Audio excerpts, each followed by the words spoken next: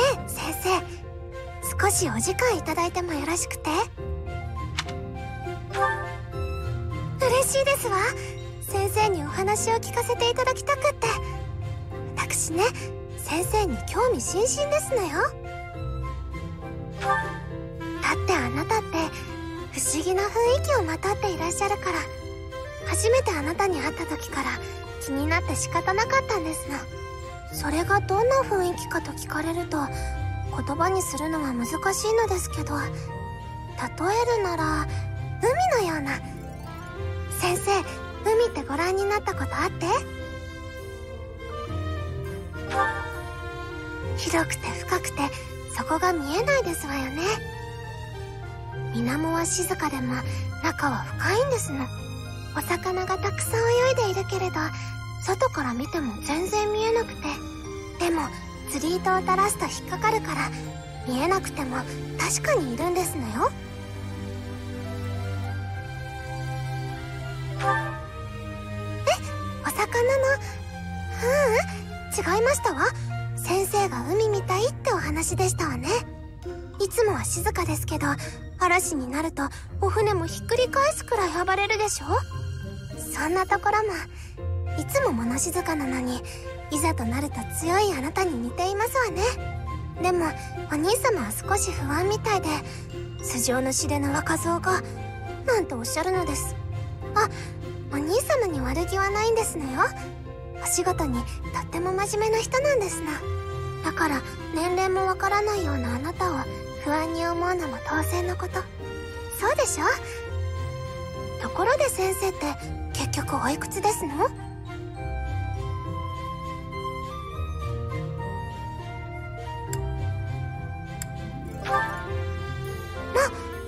自分の年齢をご存知ないの？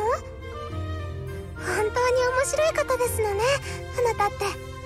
うん。どれだけ見ても私には分かりませんけれど。まさか生徒たちよりも若いなんてことも？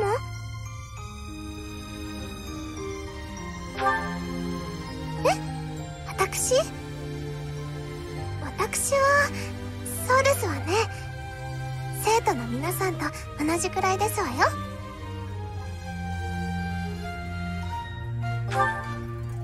そんなことあるはずありませんのよ。だって本当にそうですもの。そうそう。だから私もね本当は学校に入りたいんですのよ。でもお兄様が許してくださらないの。お兄様の心配性には少し迷惑していて。あいけない。お忙しい先生をあんまりお引き止めできませんわよね。またお話ししましょうね。それではごきげんよ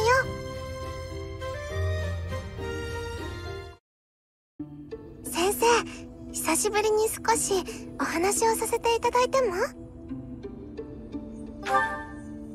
あのね私先生に助けていただいて先生の学級にも入れていただいたでしょ？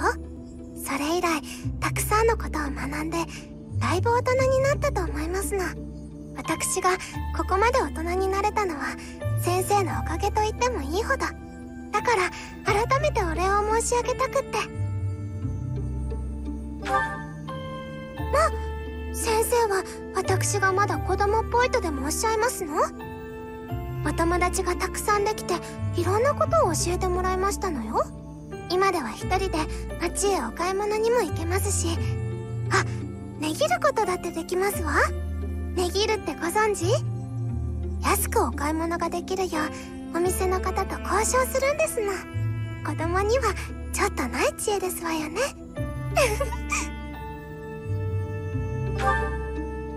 え？私？えー、っと前に申し上げたと思いますわよ。何度も年齢を聞くなんて失礼じゃなくって。そう？年齢といえばあなたこそあやふやなままではありませんこと？ええもう年齢なんかにこだわるのはやめにしましょう。ええそうしましょう。それよりあなたのことでまた一つ気づきましたのよ。あなたって不思議な雰囲気があるって申し上げたことがあったでしょその時はただの海に例えましたけど今は昔見た海みたいって思いますの私ね小さい頃はお母様によく海に連れて行ってもらったんですのよ。お母様は釣りが上手でそれで私ねお魚が好きになったんですの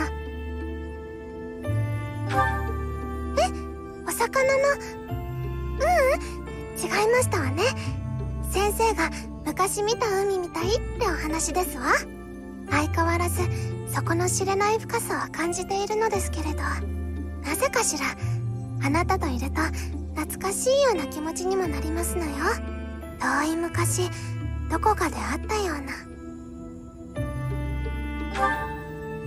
いえそれはないと思いますわよ。だから不思議なんですの。あもしかしたら遠い親戚だったりするのかしら？それもない気がしますけれど。だって私の親戚ならでもレア様のなさってきたことを考えると案外その可能性も。あいえ何でもありませんのよ。こちらの話ですのとにかくあなたのことは他人のような気がしませんの。他の仲間よりもさらに親しくなれたら私嬉しいと思っていますのよ。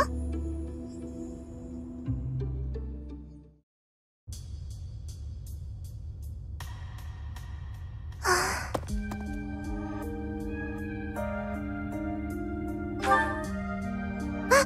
先生ごごきげんよう。ちょうど先生のことを考えていましたので私驚いてしまいましたわ。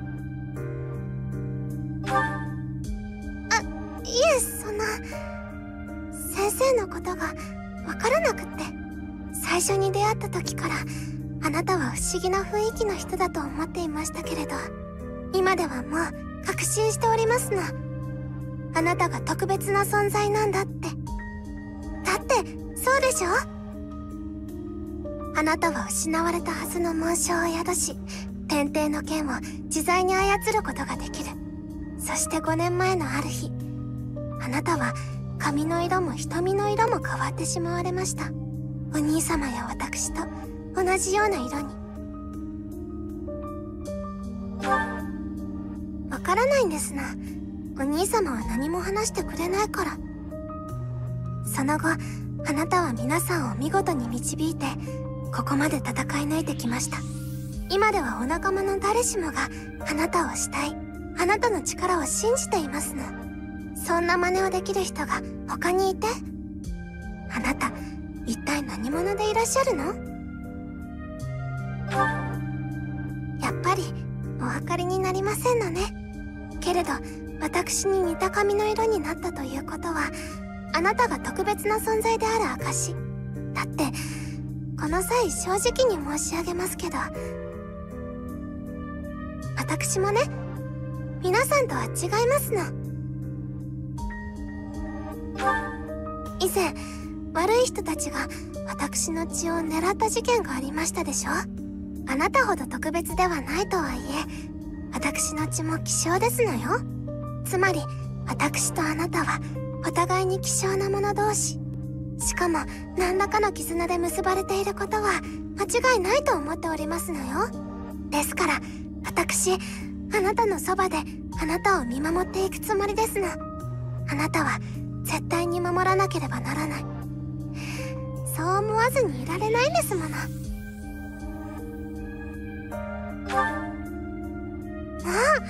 う先生ったらかっこいいことおっしゃって。では私たちが力を合わせれば向かうところ敵なしですわよね。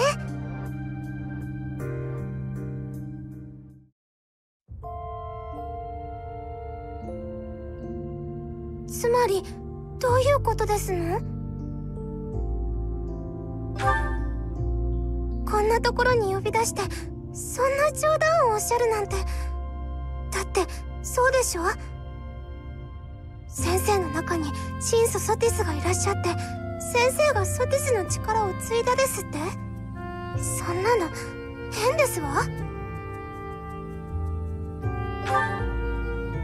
それならお聞きしますけれど先生は男性と女性のどちら？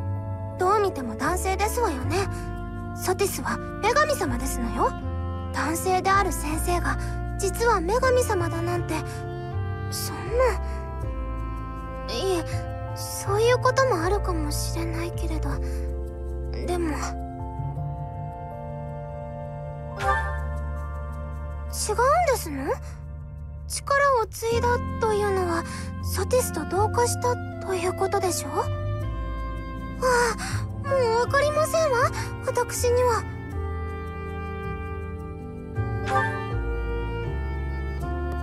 これは指輪ですわね。女性ものの。なんでそんなものを先生が？やっぱり先生は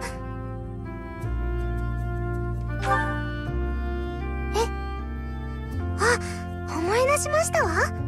結婚したい相手には指輪を贈るという習わしがありましたわよね。ではつまりそういうことですの？私と先生が結婚？それはつまり私を一人の女性として先生が好きになったと？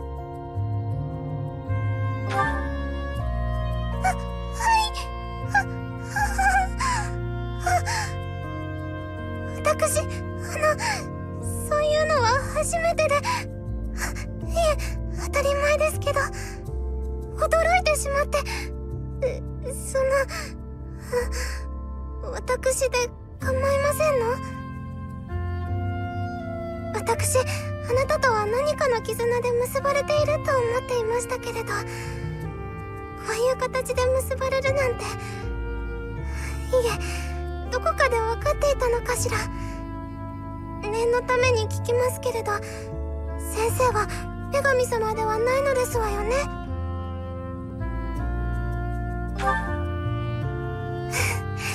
ごめんなさい。この指輪慎んでお受けしますわ。海のように広い心で私を包んで守ってくださいね。